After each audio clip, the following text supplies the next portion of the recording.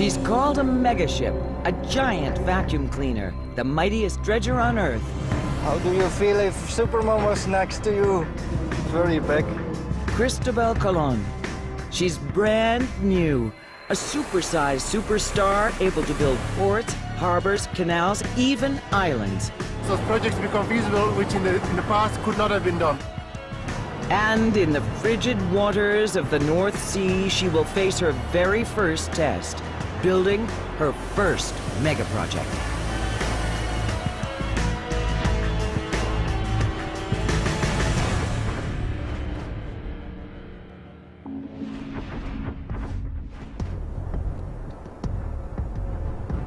Cristobal Colon is the world's first super dredger.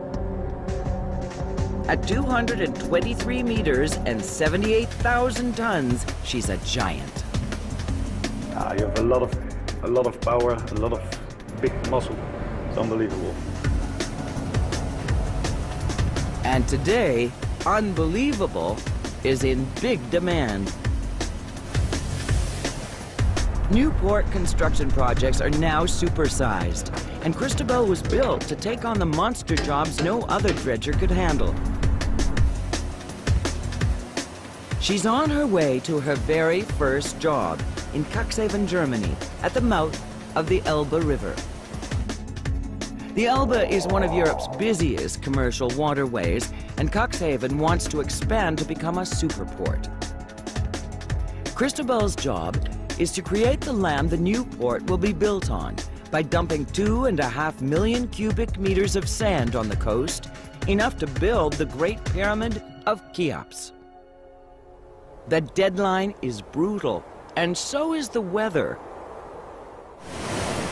Port construction starts in just eight weeks, and Cristobal is sailing into one of Germany's worst winters in a hundred years.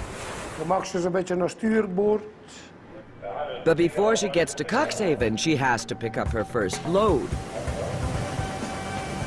Cristobal will suck up sand from the seabed in a dredging zone 10 kilometers offshore and then deliver it to Cuxhaven.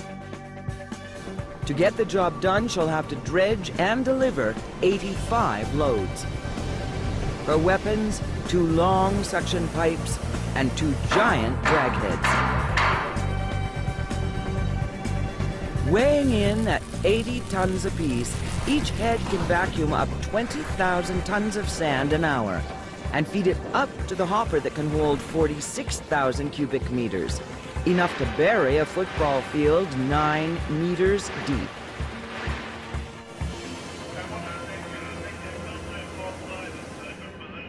For Captain Jean Bleu, Cristobal Colon's size and strength are made to measure for Cuxhaven.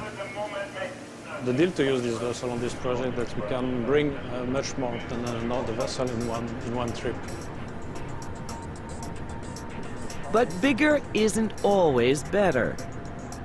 First Officer Patrick Struve is navigating giant Cristobal in one of the busiest shipping lanes in Europe. Every year, 6,000 vessels head in and out of the Elbe River. It's like steering an aircraft carrier through rush hour traffic on a long weekend. I have to look in the radar now how far the ships are and how quickly they're coming. Seven ships are on his radar right now, some just a few hundred meters away. One of them cuts across Cristobal's bow with almost no warning. Patrick adjusts his speed, but stays on course. Uh, you're not allowed to make a mistake, that's it. If I make a mistake now, you have a collision. But Cristobal Colon is more than just big. She's smart, real smart.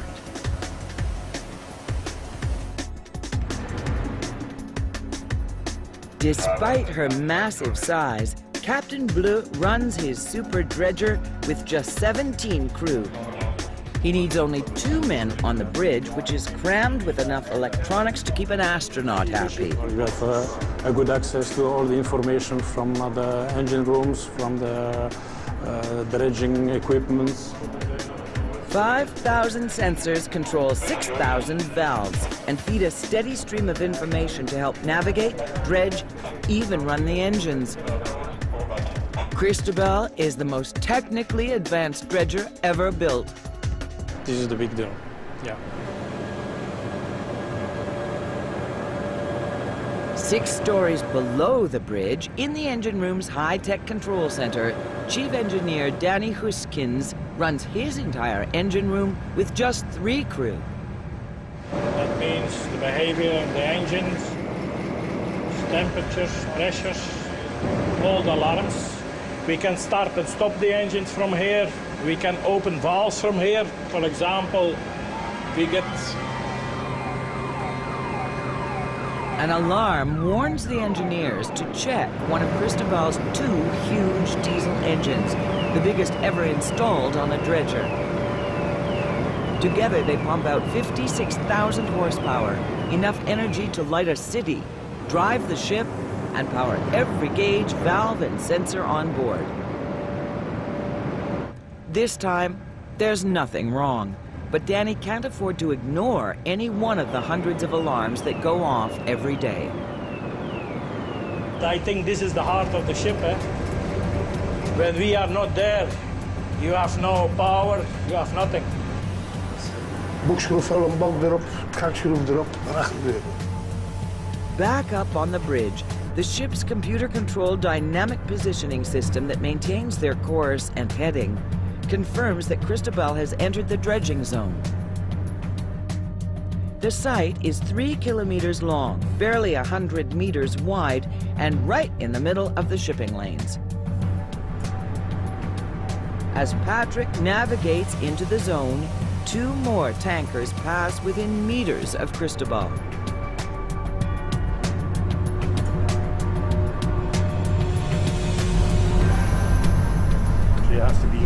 Be always on it, always thinking, and uh, yeah, keep your mind on it. On the other side of the bridge, that's as big as a basketball court, pipe operator Sebastian Scholtin brings Cristobal's two drag heads to life. From his command console, he can operate these giant vacuum cleaners by remote control. Opstarten. Alles opstaan, ja. His shipmates call him Baz, and the dragheads are his babies. Each one weighs as much as a house, but he treats them like fine china. One mistake could send them crashing to the deck or into the side of the ship. I have to take care that I damage nothing at the pipes. Just make sure everything will go okay and smoothly. Everything is in place for their first dredge, but as Boz starts to lower the drag heads, Captain Bleu watches the weather. There's a winter storm building in the North Sea that could shut Cristobal down.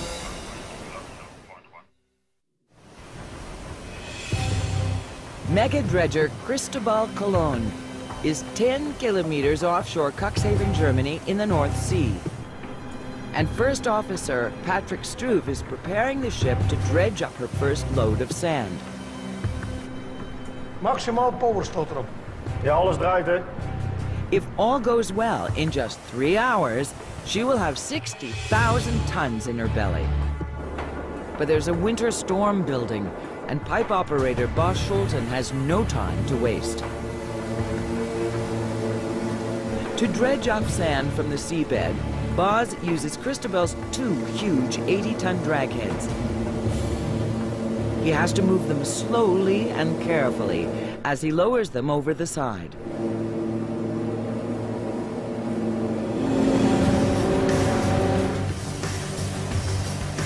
Patrick's job is to navigate Cristobal, and he must carefully steer the ship over the dredge site. As Cristobal hits her first mark, Boz maneuvers the drag heads into position. Slowly, he lowers them to the bottom, just 15 meters below the keel. Showtime.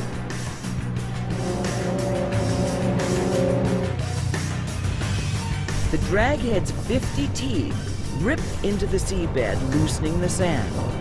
At the top of each arm, a powerful 400-ton pump inhales the sand up and into the hopper at 18 kilometers an hour. With every cubic meter of sand, Cristobal also vacuums up a cubic meter of water. It's the only way to suck up so much sand so fast. But as soon as he uses the water, Baz needs to lose it. We don't want water, we want sand. So all the water go out and we take more sand. As the sand enters the hopper, it sinks to the bottom. A giant funnel is then lowered, skimming off the excess water and draining it back into the sea. Filling the hopper is a delicate operation. A carefully choreographed dance between navigator and pipe operator. Together, Patrick and Boz have just one job, keep the dragheads on the seabed. Using real-time data from sensors right on the dragheads, Boz raises and lowers the heads constantly as he follows the contours of the bottom, while Patrick battles swells and currents to maintain the ship's position inside the dredging zone. Maar voorlopig nog 13 meter en uh, Bas. 1350, you. Ja. You have to communicate very good eh, for long distance, but uh, when it's quiet we can hear each other. Speed is critical. Dredge sand up too fast or too slow, and the pipes could clog, shutting Cristobal down. We have to take care that we don't block any pipes and keep the speed and going. And this is the main thing that we do. But midway through the dredge, Patrick has a problem. If you look to the buoy now, you see how much current there is. There is now between the 4 and the 5 knots currents ahead of me. The fast sea current could knock Cristobal off course, and any sudden movement could smash the dragheads against the ship.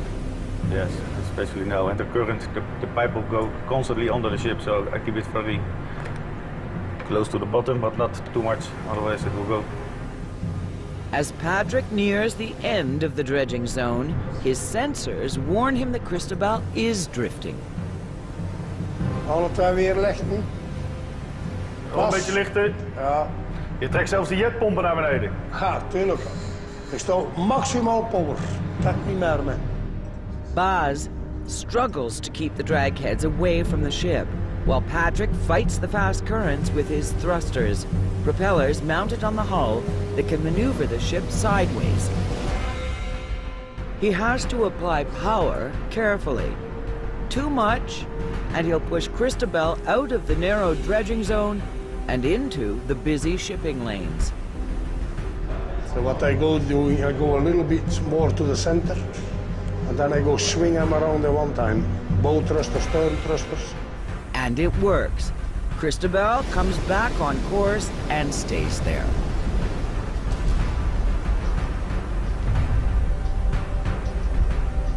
Ja, zak hem maar. En terugzakken.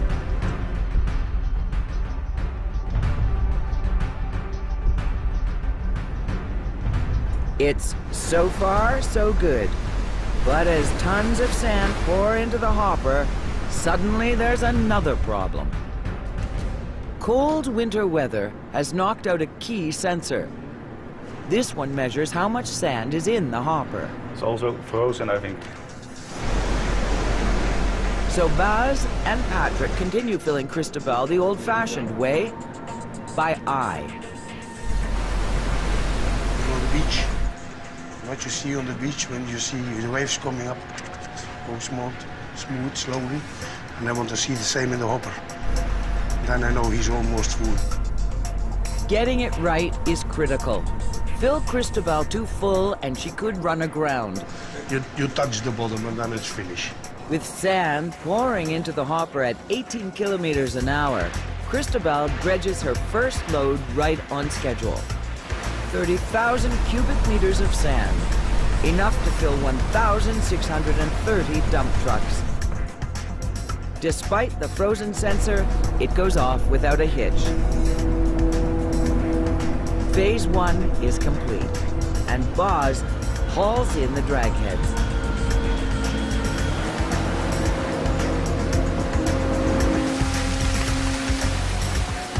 Yeah, good afternoon, sir. Around uh, 45 minutes to uh, 50 minutes we are on the connection.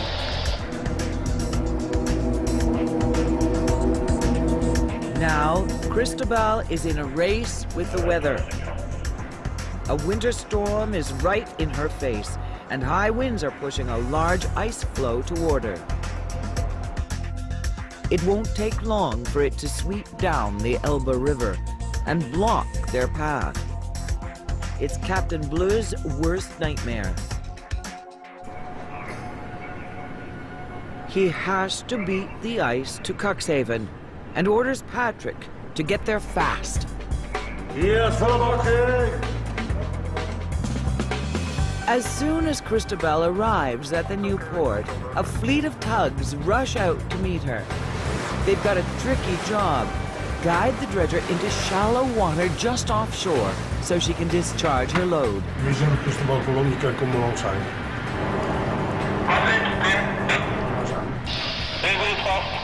Here's advanced. On shore, project manager Kobe Pears watches Cristobal arrive. He's worried. There's less than three meters of water under her keel. One small error and she could run aground. This vessel is 223 meters long. So it's, if something happens, it's only seconds before the dredger is washed ashore. So Kobe waits and watches Cristobal and the tugs get to work. To help fight the powerful six-knot river current, one tug connects to Cristobal's stern, the other to her bow. Ja, daar er wezen wij go start turning.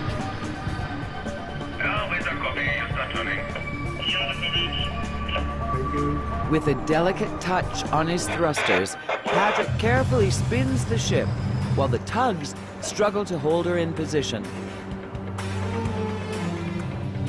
Now to go alongside the Fonseca. Now, Cristobal must stay exactly where she is. Captain Bleu orders the anchor to be dropped. Joris, let go. Let's go. Like everything else on Cristobal, it's huge 16 tons. Captain Bleu orders out enough chain to lock his ship in position.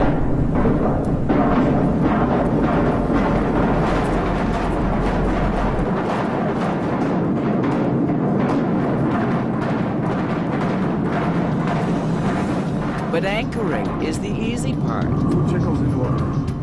They've now got to discharge 60,000 tons of sand, and they've got to do it fast. The ice is coming. If they don't unload before it hits, port construction could shut down.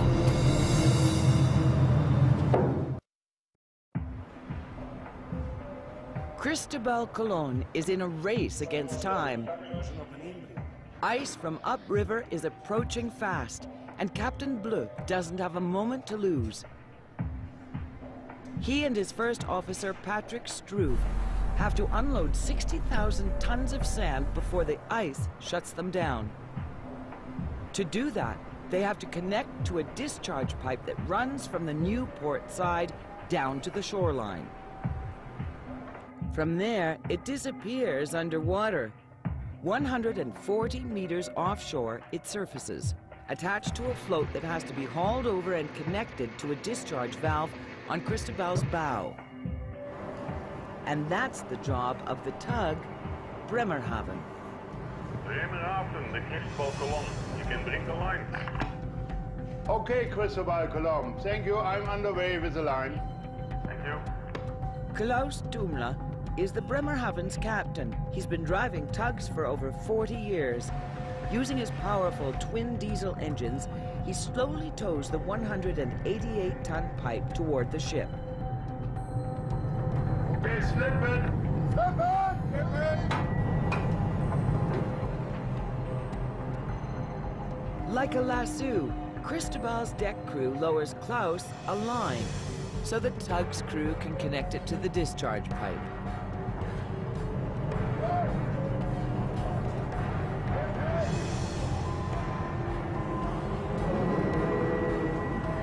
Just as Cristobal starts hauling it up, the ice arrives.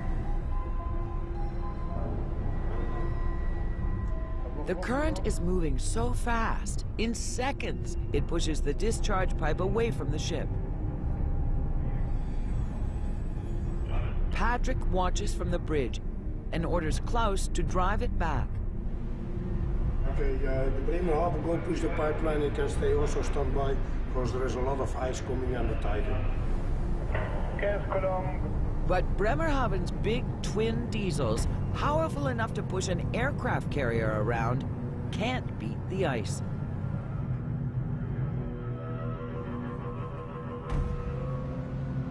Normally the current alone is okay, and ice alone is also okay, but ice and current together, I think it's too hard.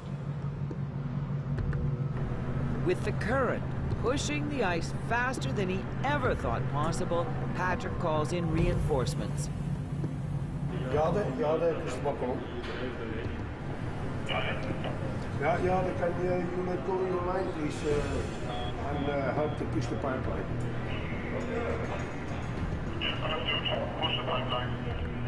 In a desperate bid to get the discharge pipe connected, Patrick orders all three tugs to drive it toward the ship. On Bremerhaven, Klaus kicks his 2,000 horsepower diesels into high gear. It's now a battle between the tugs and an ice floe a kilometer long. Slowly they push the discharge pipe forward, but the tug's combined might still can't get it close to Cristobal.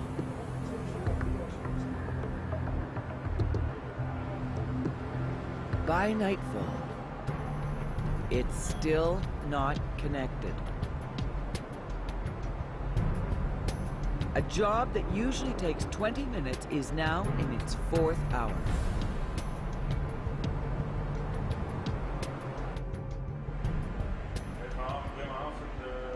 On Cristobal's bridge, the night shift takes over. First Officer Leon Idema replaces Patrick. But all he can do is watch the tugs continue to fight the ice. Finally, after eight hours of non-stop heaving, Klaus and the other tugs beat the ice.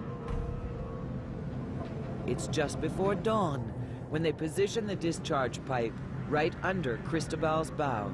Okay, Cristobal Colon, the line is connect, you can heave. Thank you for connecting and uh, we'll start heaving. Okay, fine. On board, the deck crew slowly haul it up.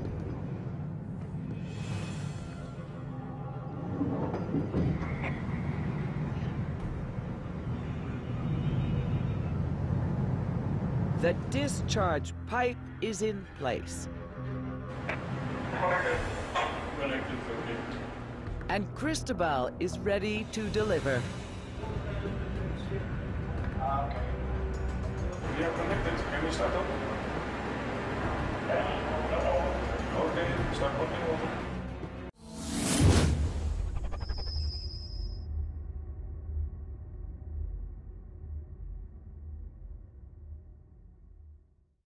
Discharge the sand, high-pressure jets blast 30,000 cubic meters of water back into the hopper. When the mixture turns to liquid mud, pipes on the bottom of the hopper open up and it's pumped into the discharge pipe with enough force to send it seven kilometers.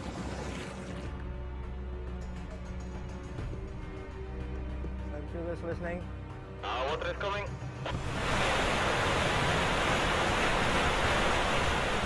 It's 6 a.m. when Cristobal starts to deliver her first load. Just two hours later, she's pumped over 80,000 tons of sand and water onto the new port site. In 17 years, project manager Kobe Piers has never seen anything like it. This, this, this amount of sand is, uh, unrivaled before. We've never had it, had it before. A fleet of dozers and excavators swing into action. The pressure is on. Cristobal is spewing out enough sand to bury Wembley Stadium nine meters deep. How do you feel if Superman was next to you? I don't know, he's very big. Kevin Demmerman is Kobe's site foreman. The ice has put Cristobal and construction behind schedule, and he can't afford another setback. I don't want uh, any delay. I don't want to delay the ship. If I delay, we have big problems. Kevin's not the only one feeling the heat. Dozer operator Wolfgang Friends is rushing to keep up with Cristobal. In 30 years, he's never seen so much sand. 2,5 Millionen Kubikmeter. Da haben wir noch ein paar Stunden zu schieben. It's also dangerous work. The discharged mud is like quicksand. Und jetzt noch gefährlicher für uns. Und dort besteht die Gefahr, dass die Raupen schneller versenken.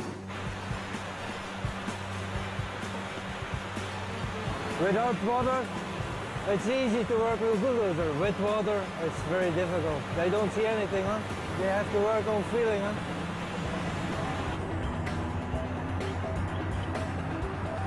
But they're not keeping up. Cristobal is discharging five tons of sand a second. It's piling up so fast around the end of the pipe it could clog it.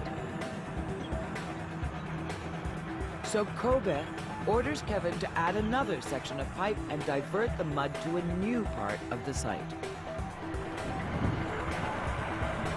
It's a challenge because you cannot distribute the sand 600 meters away without extending the pipelines during the pumping. The flow of water which comes out of the pipeline should never ever stop. Kevin directs the excavator into position. With sand blasting out at the speed of a subway train, he guides the 10-ton pipe in.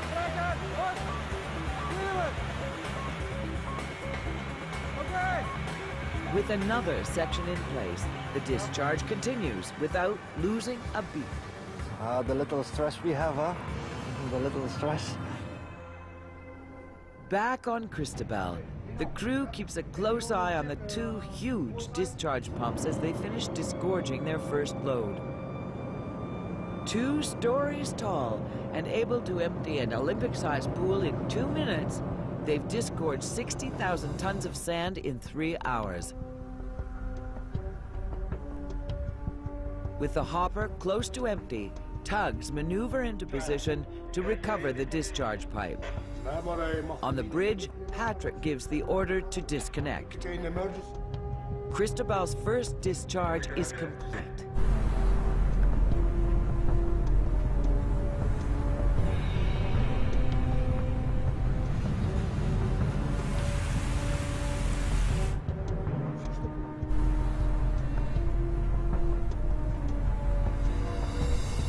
There's still no time to waste. Captain Bleu immediately heads back to the dredge site. He should have discharged three loads by now, but he's delivered just one, and he's feeling the pressure. because this is in fact my, uh, my deal on board, keeping me running seven days a week and uh, all the years long. That's it. That's what I'm paid for. But with the ship underway, an alarm goes off in the control room.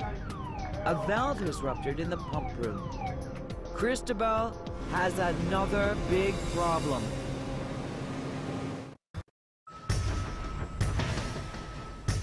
After discharging her first load of sand in Cuxhaven, Germany, Cristobal Colon is heading back to the dredge site in the North Sea. But eight stories below the bridge, a valve has ruptured in the pump room. It's a huge problem. This is a big valve with a very big job. It controls the flow of sand from the hopper. No valve means that Cristobal's ability to discharge sand is crippled. It costs nearly $10,000 for every hour Cristobal is out of action. Captain Bleu comes down to inspect the damage himself and then orders all hands on deck. Even Baz is drafted from the bridge. Take, take off the house. Uh, mijn pistol 2. Ja, ook. Mijn pistol af. Pistol, put here.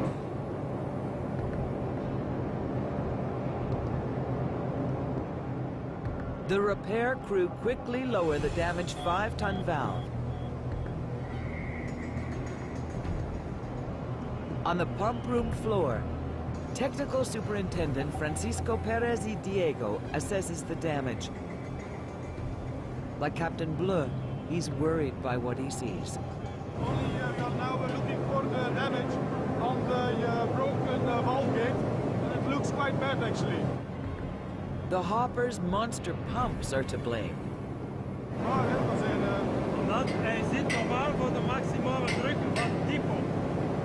During the discharge of so much sand, the pressure ripped the valve open like a wet paper bag.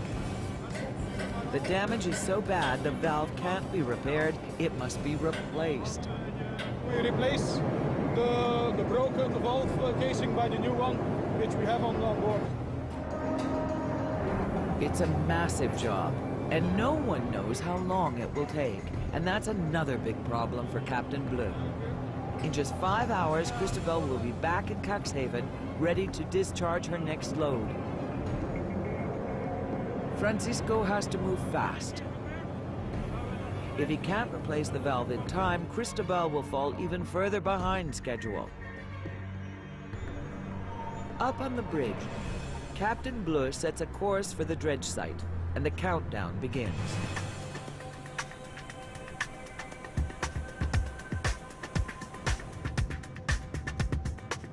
While Francisco's crew start tearing out the broken valve, the day shift finally takes a break. And Cristobal is the place to do it. The ship was custom made to help her crew blow off steam. There's a bar, a gym, satellite TV, and one of the best chefs money can buy. They are uh, six weeks from home, so we must feed them, eh? Give them the cares they need. Lorenzo de Smit knows it's been a frustrating day for the crew. In the galley, he prepares another gourmet meal for both shifts. But Lorenzo sees himself as more than just a cook. Yeah, always plenty job on the ship, huh? Taking care of all these guys. Uh, uh, sometimes they say cook is the mama, but yeah, taking care like a mama at home for the kids, huh? But down below, Francisco and his team have no time for a good meal. They're pulling a double shift in a desperate bid to replace the damaged valve. A repair crew is busy connecting the hydraulics that open and close the new valve. But it's slow work. The valve is the size of a Volkswagen, and the parts are huge.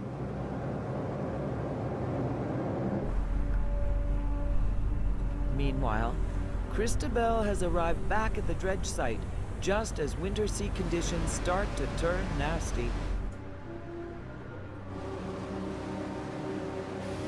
But as Cristobal's second dredge begins, Captain Bleu isn't worried about the weather. He's worried about his valve and heads below for an update. Francisco and his team are still struggling to connect the hydraulics.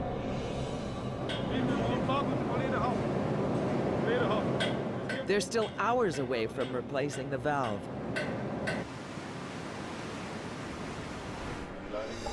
On the bridge, First Officer Leon Idema carefully navigates Cristobal over the dredge site. Even at night, the Elbe River is still as busy as a freeway, and it's now almost impossible to see another ship coming. Leon has to keep a close eye on his radar as the hopper fills up with sand.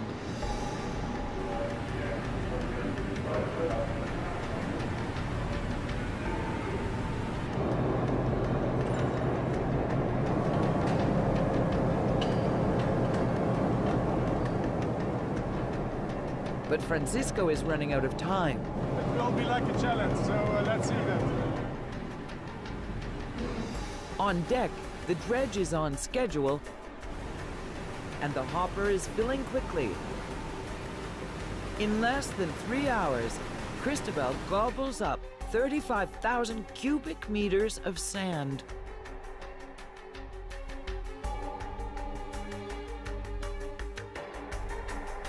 As morning arrives, the drag heads are hauled in and Cristobal sets course for Cuxhaven.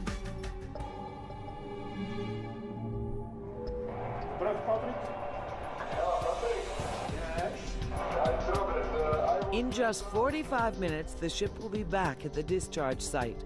But Captain Bleu still has no word that the new valve is ready to go. And no idea if Cristobal will be ready to unload.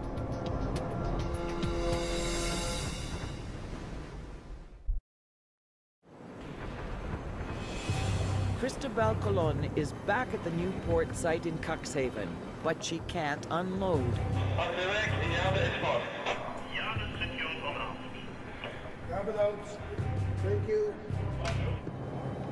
In the pump room, Francisco Perez y Diego and his team are rushing to replace the five-ton valve, and they're running out of time. Beside Cristobal, the tugs take a line from the dredger. Zeg man, voor welke kant heeft de drijver de leiding als stuurboog of bakboord? Hi, still paper backboard then. This time, the ice is holding off. As the tugs push the discharge pipe toward the ship, the connection begins.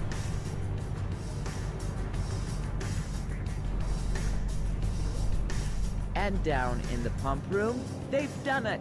The new valve is installed. With just minutes to spare, Francisco and his team have made the deadline.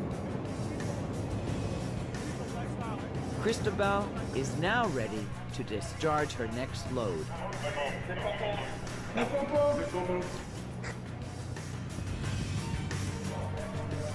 Yes, volle bak. Opstarten. Alles op stand. Ja. But now there's a new problem. Cristobal's pumps are running at full power, but on shore, nothing is being discharged. No water, and worse, no sand.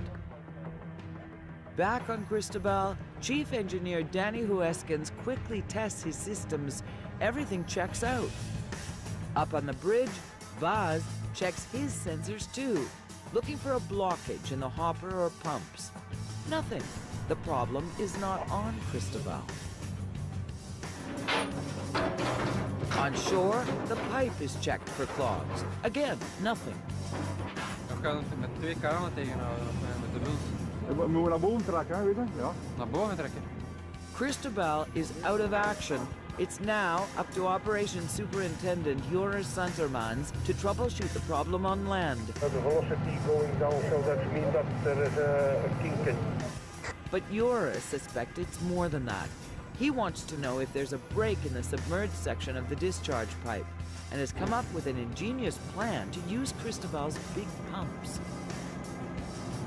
We're gonna start pumping water from the ship side and to see if we can notice a leak somewhere. Joris thinks ice flows and strong currents caused the problem. When the ice pushed hard against the discharge pipe, it bent and then cracked. If he's right, water pump from Cristobal will bubble out of the leak and mark the spot. Cat, the, uh, the water right in front of the Annika on the starboard side, you can see the water coming up. Yes, It's I see it, confirmed. The discharge pipe is broken. And until it's repaired, Cristobal is down for the count again. Captain Bleu fears the worst.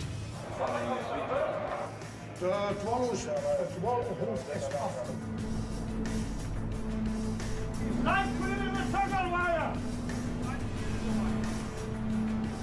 To fix the pipe, Joris has to first haul it out of the river. He commandeers the workboat MCS Annika for the job. The Annika's captain, Francis Matthews, hooks a sling to the boat's powerful working crane and straps it around the discharge pipe. Okay, bud. Try and lift it with the second ramp first. But he can't budge the damaged pipe. The crane's good for 28 ton. It's not lifting it. The repair mission is getting dangerous. Francis is stretching his cables to the breaking point. No one knows how much the discharge pipe weighs. If it's more than 50 tons, the winch cable could snap.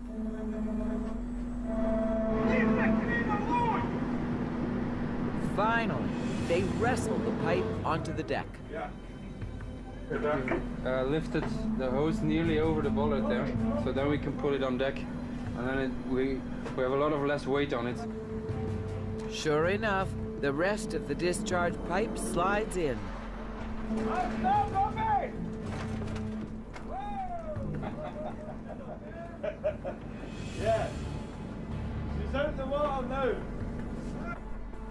Twelve hours after they began, Joris gets a look at the damage. But the, the rupture was on a weld, so yeah, there might have been a, a defect somewhere in the weld, and that caused it to break off. It's a clean break, but a dirty job to fix it.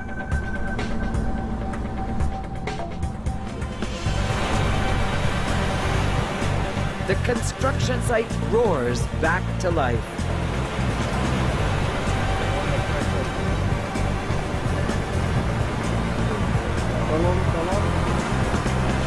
As Cristobal spews out 35,000 tons of sand.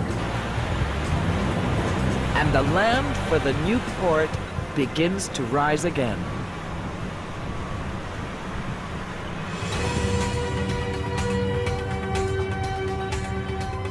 Her schedule is shattered, but Cristobal Colon is back in action. To get back on track, Captain Jean Bleu will have to push his crew and his ship as hard as he can. It takes two or three or four voyages a day. That's the, um, the calculation, the production, and uh, to be competitive. We must work together. If you don't work together, you don't have results. We have to keep on pumping. Keep just keep on pumping. As soon as Cristobal arrives back at the dredge site, the dragheads are lowered. The race is on. It's a little bit adrenaline. It's going to be fun. With the winter weather cooperating, Cristobal makes a dozen perfect runs and delivers 600,000 tons of sand. For the first time since the job began, both Captain Bleu and Kobe Pears believe their deadline is within reach. Thanks to the Cristobal Colon, the size of her size and her capacities, we can still finish this project on time. I think there's a good chance that we will, will, uh, will make it. Over the next few weeks, Cristobal makes more than 70 runs and delivers 2 million cubic meters of sand. It's more than enough to finish the project right on schedule. And I must say, I'm, I'm absolutely amazed about the capacities, and I'm, I'm absolutely surprised about what's, what this vessel is capable of doing. But to Kobe, Cristobal's success is about more than just hitting a deadline. It's a new beginning. And I think the Cristobal Colon will mark the start of a new era in the dredging industry.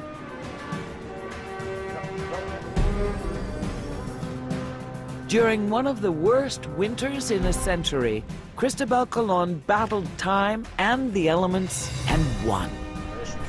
And along the way, she proved that bigger is better.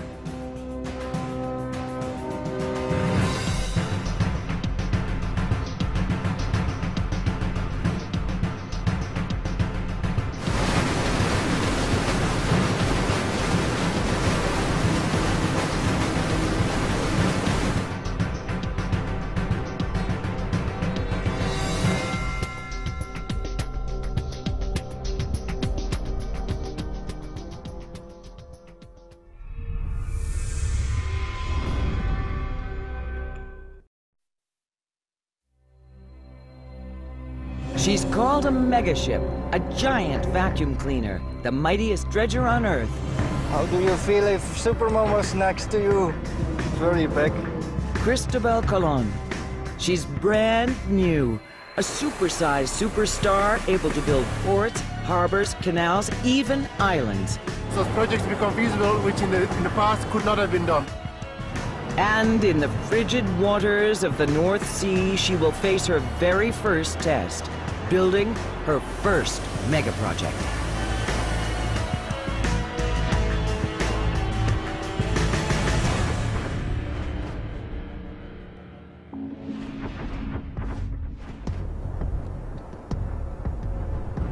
Cristobal Colon is the world's first super dredger. At 223 meters and 78,000 tons, she's a giant. Ah, you have a lot of, a lot of power, a lot of big muscle. It's unbelievable. And today, unbelievable is in big demand. Newport construction projects are now supersized, and Cristobal was built to take on the monster jobs no other dredger could handle. She's on her way to her very first job in Cuxhaven, Germany, at the mouth of the Elbe River. The Elbe is one of Europe's busiest commercial waterways, and Cuxhaven wants to expand to become a superport.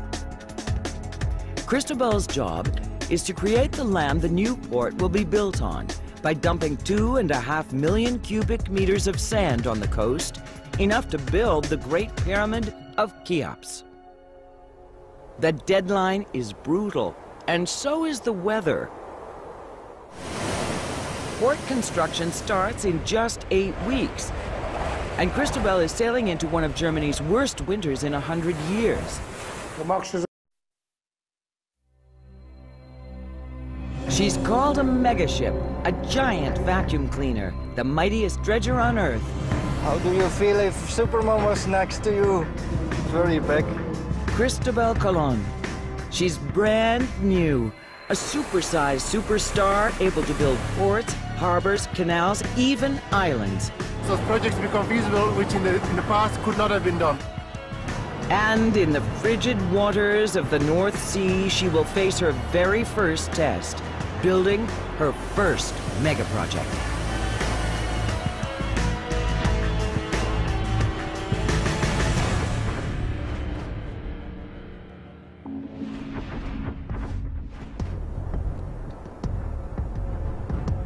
Cristobal Colon is the world's first super dredger. At 223 meters and 78,000 tons, she's a giant. Ah, you have a lot of, a lot of power, a lot of big muscle. It's unbelievable. And today, unbelievable is in big demand. Newport construction projects are now supersized, and Cristobal was built to take on the monster jobs no other dredger could handle. She's on her way to her very first job in Cuxhaven, Germany, at the mouth of the Elbe River. The Elbe is one of Europe's busiest commercial waterways, and Cuxhaven wants to expand to become a superport. Cristobal's job is to create the land the new port will be built on by dumping two and a half million cubic meters of sand on the coast, enough to build the Great Pyramid of Cheops. The deadline is brutal, and so is the weather. Port construction starts in just eight weeks, and Cristobal is sailing into one of Germany's worst winters in a hundred years. But before she gets to Cuxhaven, she has to pick up her first load.